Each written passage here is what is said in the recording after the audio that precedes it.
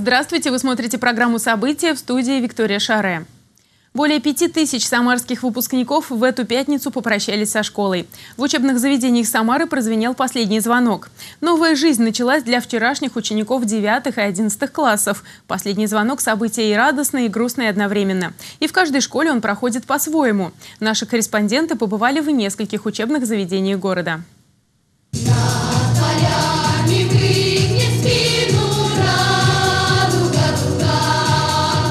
Самый трогательный и волнительный последний звонок. В 144-й Самарской школе торжественная линейка. Выпускников поздравляют родители, учителя, ученики младших классов. 11 лет учебы позади. Впереди самостоятельная взрослая жизнь. Бывшие старшеклассники признаются, расставаться с учителями и одноклассниками не хочется. С одной стороны, нужно идти ты вперед и бросать школу, но прощаться с друзьями, со знакомыми трудно. Ты столько вот времени с ними провел, и, и, с, и с учителями жалко прощаться тоже. На праздник к выпускникам 144-й школы приехал глава администрации Самары. Олег Фурсов сам с отличием окончил это учебное заведение. Он поздравил выпускников, выразил особые слова благодарности своим учителям и подчеркнул, после школы важно сделать правильный выбор профессии. Перед выпускниками открываются большие возможности. В Самаре объединяются несколько вузов. Во вновь созданном университете будет качественно новое обучение. В перспективе он сможет конкурировать с другими высшими учебными заведениями на мировом уровне. Аэрокосмический университет, государственный университет объединяются. На уровне города объединяется муниципальная академия управления и экономическая академия. И это очень важные штрихи нашего времени, потому что объединение вузов дает мультипликативный эффект развитию всей системы образования. Появляются новые лаборатории, выделяется дополнительное финансирование, а значит возможности у вас, выпускники, появятся гораздо больше в получении достойного хорошего образования. В этом году в 144-й школе 40 выпускников. После концерта для них звенит последний звонок.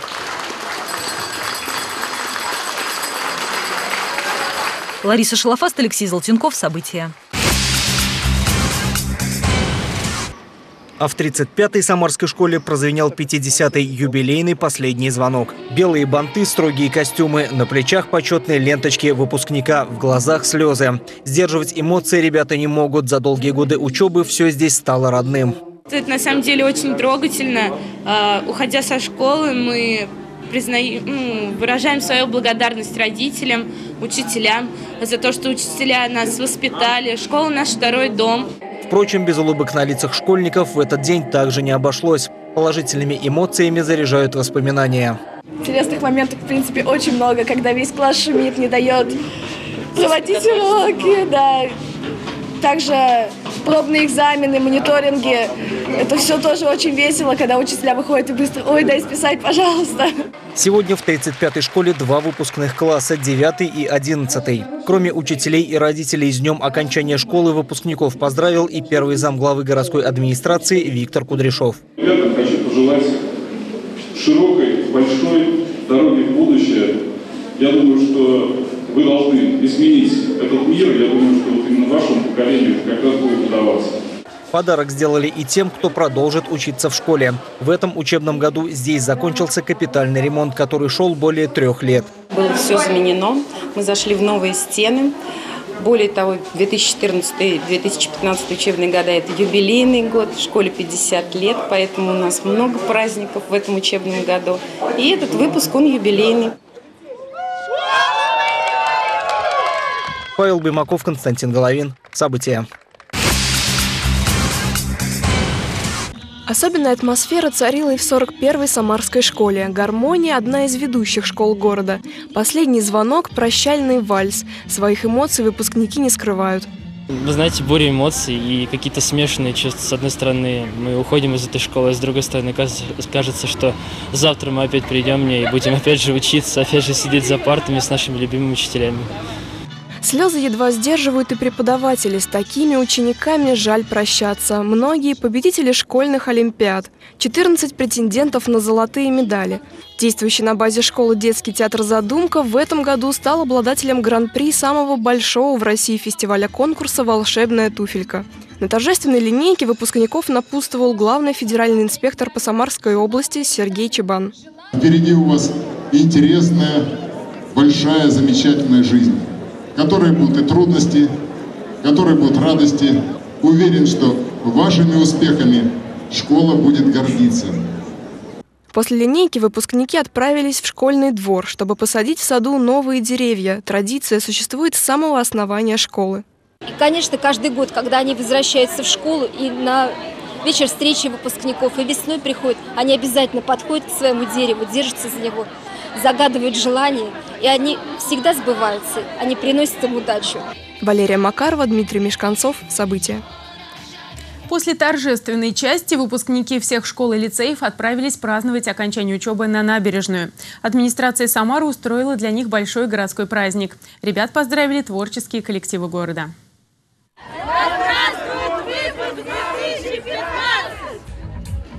Место встречи изменить нельзя. Самарская набережная – излюбленное место всех выпускников. Десятки поколений приезжают праздновать последний звонок и насладиться пейзажами Волги. Я хорошо помню свой выпускной. После окончания последнего звонка мы всем классом приехали сюда на набережную, ходили на площадь Славы гулять, конечно. И мне кажется, это вот были наши самарские белые ночи. И сейчас более 600 выпускников традиционно собрались у ладьи, чтобы отпраздновать окончание важного этапа в их жизни. Я сегодня проснулась с таким чувством, господи, я закончила школу, дальше не будем мы собираться вот каждый день вот так в школе друг с другом не видеться так часто, как-то даже непривычно об этом думать. Мне жаль, ну, как бы, расходить со своими ребятами, терять их, но в то же время я поступлю, допустим, в другой вуз, у меня будет больше друзей, какие-то новые связи, новые знакомства. Для выпускников устроили большой праздник. С творческими номерами выступили музыкальные и танцевальные коллективы. Впереди у ребят беззаботные выходные, но с понедельника снова за парту начнутся экзамены. Мария Сидорова, Павел Пресняков. События.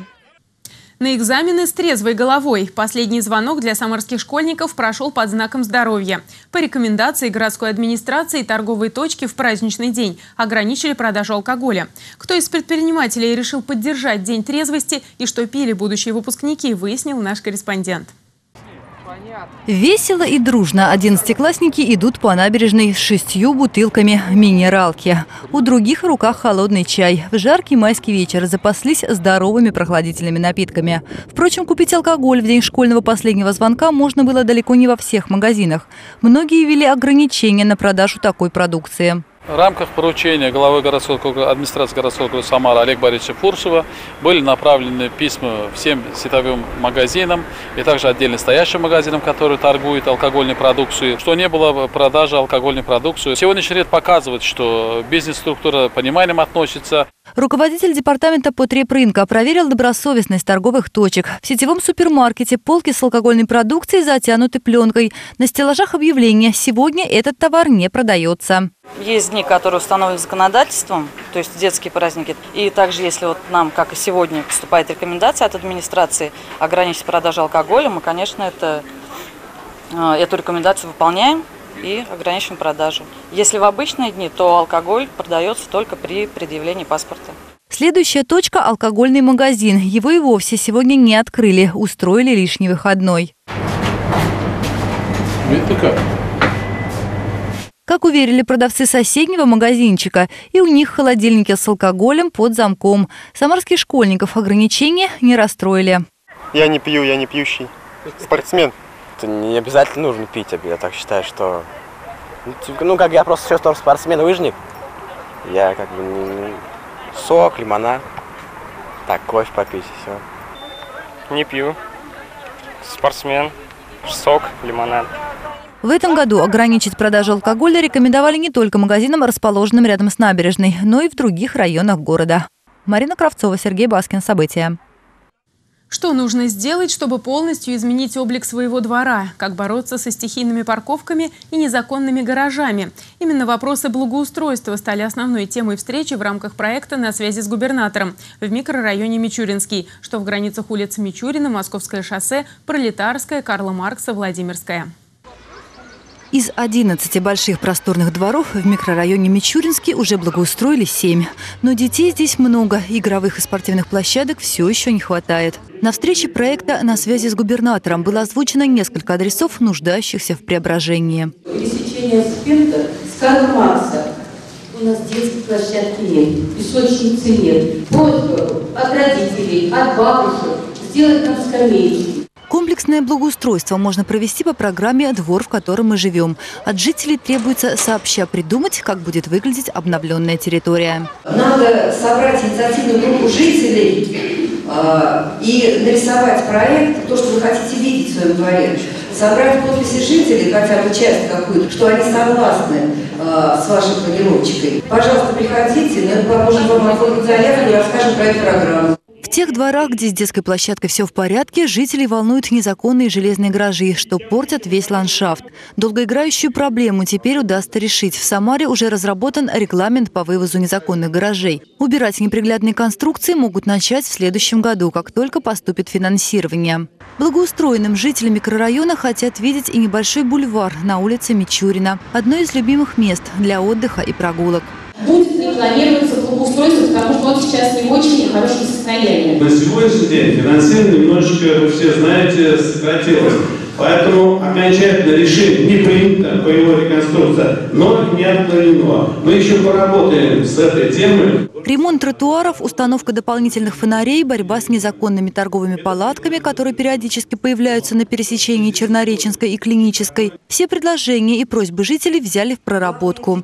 Проект на связи с губернатором – открытая площадка для диалога жителей и власти, который дает реальные результаты. Жители заметили, власть стала ближе к народу. Чтобы решить проблему, не нужно вести длительную переписку. Достаточно просто прийти и задать вопрос.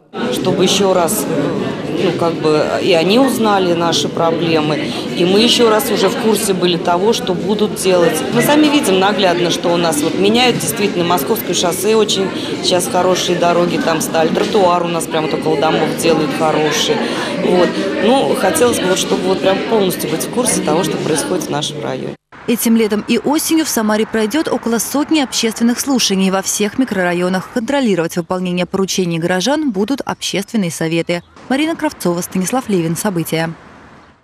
Ольга Рыбакова, возглавлявшая Министерство культуры Самарской области с 2004 года, освобождена от занимаемой должности. Основание – личное заявление. Временно исполнять обязанности министра культуры будет Сергей Филиппов, ранее занимавший должность руководителя Департамента информационной политики администрации губернатора. Ольга Рыбакова трудовую деятельность начинала инженером в Куйбышевском плановом институте. В 2001 году была избрана депутатом Самарской губернской думы. С 2004 работала министром культуры и молодежной политики политики Самарской области. С 2009 министром культуры Самарской области. Информация для предпринимателей, желающих начать свое дело или оплатить налог на прибыль, ждут в Самарском многофункциональном центре. Теперь здесь также принимают и заявки на регистрацию юридических лиц и индивидуальных предпринимателей. Подробности в нашем сюжете. Зарегистрировать свой бизнес стало проще. Заявление на государственную регистрацию юридических лиц и индивидуальных предпринимателей теперь принимают не в районных налоговых, а в едином регистрационном центре, который открылся на базе ИФНС России по адресу улица Сергея Лазо, 2, а также через многофункциональный центр. Для предпринимателей, конечно, стало удобно, что все услуги стали осуществляться в одном месте, вот, э, что не нужно ездить в налоговую своего района. А, очень удобный график работы. Здесь же можно оплатить и госпошлину, а подданный на рассмотрение пакет документов доставят по назначению. Получить результаты предоставления госуслуг можно также здесь. Чтобы избежать очередей, специалисты центра будут работать в усиленном режиме. У нас на данный момент график с 8 до 8, но у нас теперь а в субботу будет увеличен рабочий день с 10 часов до 8 часов. Гражданам будет удобно найти в шаговой доступности, прийти, без очереди сдать документы, соответственно, быстро получить как консультацию, так и конечный результат. Предприниматели ждут в МФЦ на Московском шоссе. Также можно обратиться и в отделение многофункционального центра на улице Свободы 192 и Вилоновской 13. Павел Баймаков, Дмитрий Мешканцов. События. Федор Достоевский прибыл в Самару. Теплоход с ветеранами завершил свое путешествие в низовье Волги. На днях 240 человек, обеспечивших Великую Победу, отправились к месту боевой славы – на Мамаев-Курган, в город-герой Волгоград. Вместе с ветеранами путешествовала и наша съемочная группа.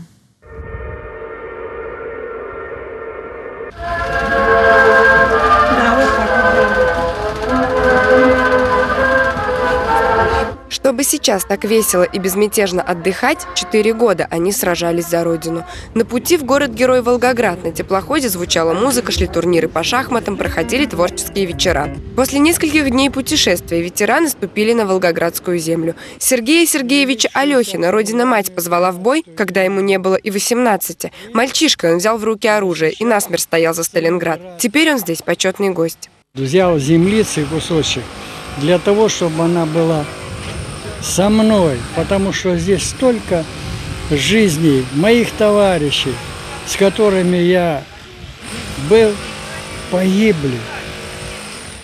Но, тем не менее, немецко-фашистским войскам не удалось сломить сопротивление. Круиз, посвященный 70-летию Победы, длился пять дней. Кроме Волгограда, ветераны побывали в Саратове. Посмотрели на город с высоты птичьего полета, возложили цветы к вечному огню. Пешие экскурсии и подъемы в гору выдержали с честью. Мы боялись за ветеранов, потому что возраст, особенно на этом теплоходе, э, у нас исключительно ветераны Великой Отечественной войны, труженики тыла, то есть возраст не моложе 45 -го года. Поэтому боялись, честно говоря, боялись, переживали. Врачей было достаточно, но все хорошо, все хорошо. Самое главное, все здоровы, всех вернули в здравие. Почетные туристы привезли в Самару солнечную погоду, которая сопровождала их весь круиз. Впечатления у защитников Родины самые светлые. Очень трогательные. Прям вот можно выразить такие чувства, что Неужели так мож, могло нас встретить Сталинград или Волгоград нас? Очень хорошая поездка. Это останется на всю последнюю жизнь, которая осталась. Отличное впечатление. Как прекрасен этот мир. Следующий теплоход с ветеранами отправится в рейс в июне. На этот раз участники боевых действий, труженики тыла и дети фронта пойдут по Волге вверх до Перми. Алина Чемерис, Павел Пресняков. События. Отголоски Великой Победы слышны до сих пор. В поселке имени Шмидта для всех жителей школьники устроили концерт «Тюльпаны ветеранам». Ребята выучили и исполнили песни военных лет. Марина Матвейшина продолжит.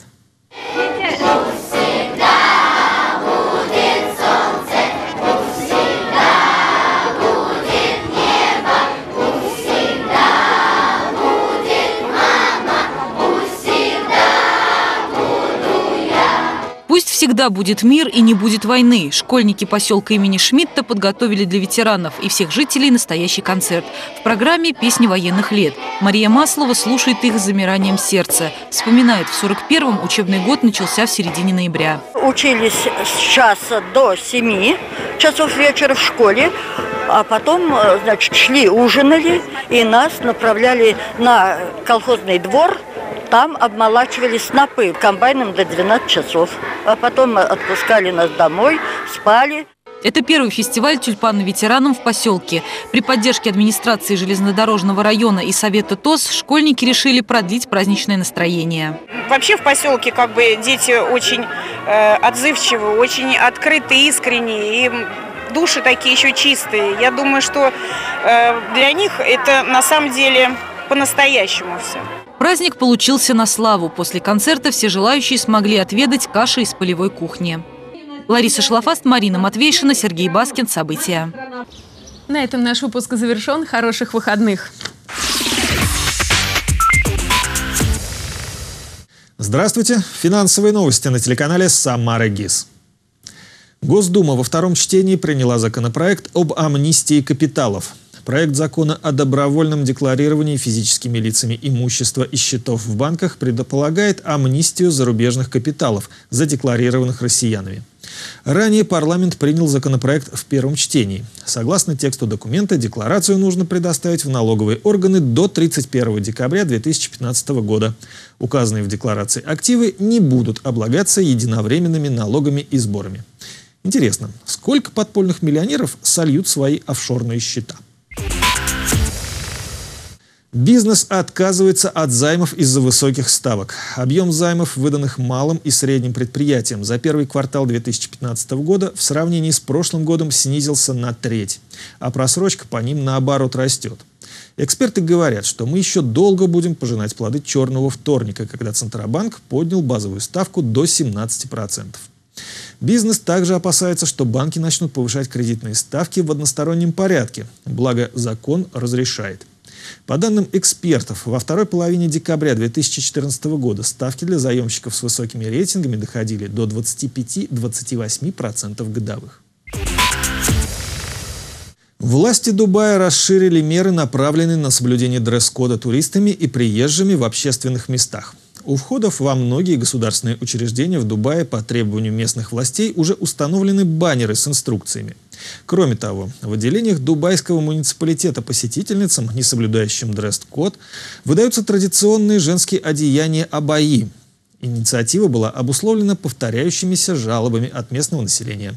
Гостей могут попросить закрывать плечи и колени. Сотрудники магазинов могут попросить посетителей покинуть магазин, если от кого-либо поступит жалоба на их неприемлемый внешний вид.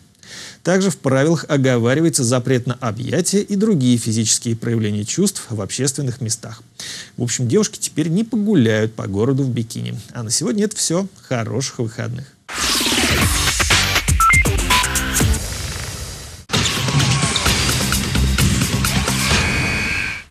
Здравствуйте, с вами Сергей Кизоркин, и значит вы смотрите «Самарские новости спорта». В Самаре стартовала областная спартакиада среди ветеранов спорта. Дарья Касаткина прошла в полуфинал теннисного турнира в Италии. Пляжные крылья Советов начали чемпионат страны с победы. В Санкт-Петербурге стартовал регулярный чемпионат страны по пляжному футболу и первыми на песок вышли столичный ЦСКА и самарские крылья Советов. Исход матча решился за 5 секунд до конца основного времени. Победу со счетом 5-4 крыльям принес Игорь Брештель. Дарья Касаткина сыграет в полуфинале итальянского теннисного турнира. Тольяттинка во втором круге обыграла швейцарку Кони Перри 6-2-7-5 и одержала победу в четвертьфинале над румынкой Александрой Каданту 6-0-6-3. В полуфинале Дарья попытается пройти болгарку Изабеллу Шинникову. Во время уикенда на базе отдыха «Радуга» пройдет областная спартакиада среди ветеранов физкультурного движения. На старт приглашаются мужчины старше 60 лет и женщины, кому за 55. Чемпионы и призеры соревнований определятся в настольном теннисе, шашках, шахматах, мини-гольфе, дартсе, пулевой стрельбе и спортивном ориентировании. Это были новости спорта от Сергея Кизоркина. Будьте здоровы и занимайтесь физкультурой.